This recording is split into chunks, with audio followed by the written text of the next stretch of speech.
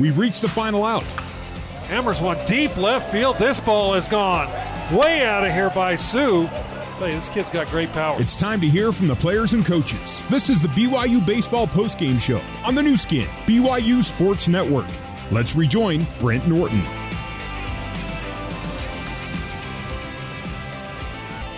Back here at uh, Larry Miller Field as the Cougars complete an 11 to 5 victory over the Niagara Purple Eagles here in a kind of a bonus game. They put this thing together just in the last, uh, actually 24 hours as Niagara was into town playing UVU and University of Utah and had a game they were trying to pick up. So it's worked out very well for both uh, teams and and um, uh, Cougars with another good effort. They've won six straight now. They are 12 and three on the year.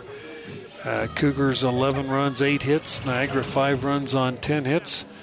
Uh, Niagara committed three errors. Cougars uh, two errors in the ball game, and um, so the Cougars with another victory, getting ready for that big weekend series with Gonzaga, which will be a big one here. Uh, two of the top teams in the conference going at it in uh, in Provo in a, in a game that was normally scheduled for um, uh, Spokane, but uh, due to the amount of snow that they've got up there, they uh, moved it to Provo, and uh, so we'll be playing this weekend in Provo. BYU and Gonzaga. Gonzaga, the preseason pick to win the conference championship, so should be some good baseball and hopefully some good weather here in Provo to play uh, a little bit of baseball. We're still waiting for player and Coach Littlewood to, to make their way up uh, to uh, talk about this game. So I think we'll take another break. Let's take a 60 second uh, break and be back with uh, a player and hopefully Coach Littlewood right after this on your W.TV Nu Skin BYU Sports Network. This is BYU Baseball on the Nu Skin, BYU Sports Network. All right, back here at uh, Larry Miller Field up in the press box. Uh, Cougars win this one by a score of 11 to 5 over Niagara. With the win, Cougars improved to 12 and 3 on the year. Niagara 1 and 12.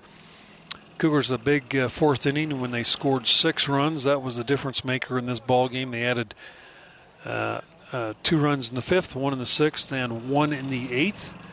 And the Cougars hang on to win this one by a score of 11 to five. And uh, joined by Coach Mike Littlewood and Coach uh, again six straight, uh, 10 out of 11 now for this team. And and as you'd mentioned, great attitude on this team. And it just seems like again all facets were going pretty well for you today. Yeah, a little bit of a slow start. I think we were flat. It was kind of a weird, you know, there, there wasn't much prep time. We decided to play, and then 24 hours later, we're, we're on the field. So, you know, the scouting report was wasn't great, and it just it didn't have a great feel the first couple innings, and we are down two, and then you could feel it in the dugout. Something clicked a little bit. They decided they wanted to play, and um, you know, we we kind of rolled a little bit after that. Uh, Coach, you know, I, I, I love the the, the kind of players you've got on this year's team with McIntyre, the, the ability to bring him into the mound, DH him. I, I know it's a big decision because he's such a dynamic defensive player Yeah. in the outfield, but but uh, he's he's a fantastic weapon to have. He picked up the win today for you. He he really is. I mean, he might be our best left-handed pitcher, um, and so we need to find ways to use him. It's really tough to use him when he's playing left field, and so. You know, kind of what we've done is, um, unless it's an emergency, because you can bring him in from left field and then send him back, but then you, you kind of lose your, your DH, and Yeah. then you're in a nine man lineup where the pitcher's got to hit. So that creates some problems. So it's easier when you when he's DHing because you can just have him go pitch and then come back and DH again. So we're trying to find a, a good spot for him. Usually, um, knock on wood, on Thursdays, uh, it's usually a day where we don't have to go too deep into the pen. Um, there's going to be times we will, but for the most part, we don't have to do that. We can use Ben Weiss if we need to as a left-hander back there.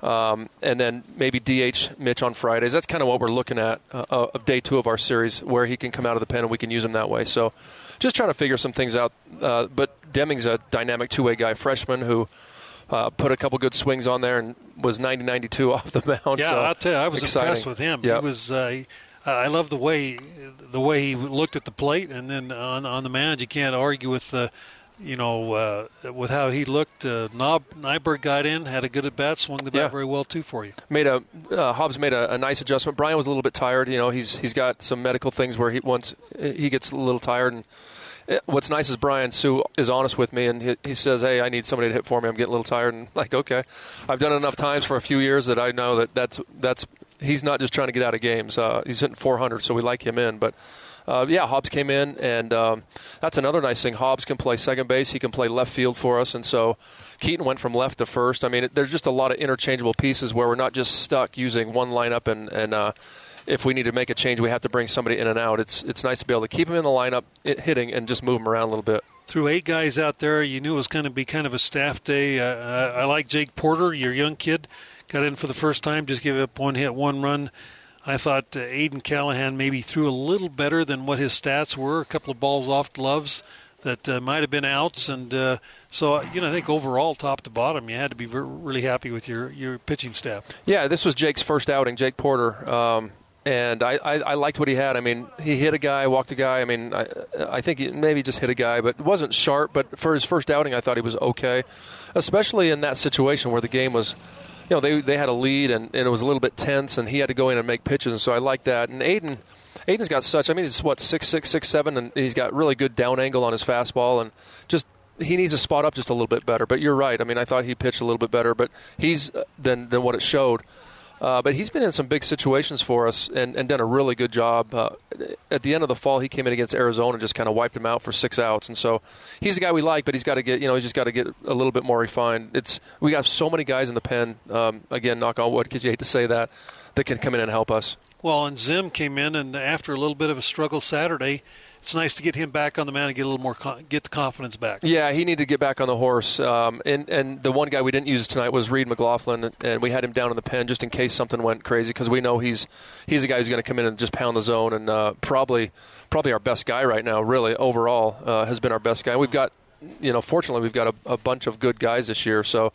Um, like our pitching staff, Coach Bradshaw is doing a great job with them, and, and they have a lot of confidence if we can keep swinging at one through nine, just putting together good at bats like we have been, um, you know, I, I, think it's going to be a pretty successful season. Uh, Gonzaga coming in this week, big big week of baseball here in Provo for BYU. Uh, Gonzaga preseason pick. Uh, they supposed to play in Salt Lake, and I guess they'll do that today with the weather. Yeah. And then come down and practice tomorrow and be here Thursday. So they'll they'll be here almost the entire week. But we know how good they are. We know what kind of staff they bring and how well they're coached, it's going to be a, a, great series. Yeah, I mean, I think since I've been in the league, um, we've won it a couple times, uh, tied with them, and, and I think overall they've been probably the best overall team from the first year I was here until now. Just every single year they bring uh, a good teams, and they're not only are they talented, they're tough-minded, they they're aggressive, they they're not afraid to go in and play at a tough place, and I think Provo's probably a tough place for teams to come in and play. Um, so it's going to be a challenge. We'll, we'll face a very, very good pitching staff. Uh, they play good defense, um, you know, and, and they're going to hit one through nine. So it's going to be two pretty evenly matched teams, and I think a break here or there could determine every single game. Well, coach, again, as we talked about on the uh, on the pregame, uh, congratulations on the great start, twelve and three, six straight. Uh, keep that momentum going, and boy, I just I, I love all the elements of the team and and how much flexibility you've got. And you see some of these young freshmen come in uh, with the kind of arms they've got. And, and, like we've talked about in the past, boy, 17th and 9th before, boy, it was a little shaky. But yeah. boy, you've got some guys out there now that you can really count on. Well, it feels like we can we can stay close with anybody, um, and that's why you've seen. I'm not letting guys go too long. I mean, every guy that comes in the game has a from the pen has a short leash, and oftentimes our starters will have a short leash as well. I mean, if they if they walk a couple guys, it's let's get a guy going because we need to keep this close. And we having a deep staff like that kind of takes away the fear of running out of guys at the end. And so as long as we're intelligent how we use them and we don't overuse them and keep them healthy the whole season, I mean, I, I think we're going to be able to to keep teams down and stay with them uh, most of the time and give give ourselves a chance to win. Well, Coach, hey, congratulations on the big win. Uh, good one today, and uh, looking forward to the weekend. And uh, hopefully, we get some get some crowd the crowd out yeah. in a in a in a series we didn't expect to be in Provo, but, yep. but we're grateful that it's here. Yeah, we need we need that uh, hometown support, and it'll, it'll really help us. Uh, going to be three great games, games yep. I believe. No doubt about it. Okay, Coach Mike Littlewood, congratulations again on the great win, and we'll see you on Thursday. All right, thanks, Brent. You betcha. Uh, don't forget for more live West Coast Conference broadcasts, features, and information, go and watch the stadium. Dot com. It has been an exclusive presentation. This has been an exclusive presentation of the WTV on the stadium. Good afternoon, good night, everybody. For Tuckett Slade, this is Brent Norton saying so long from Larry Miller Field in Provo.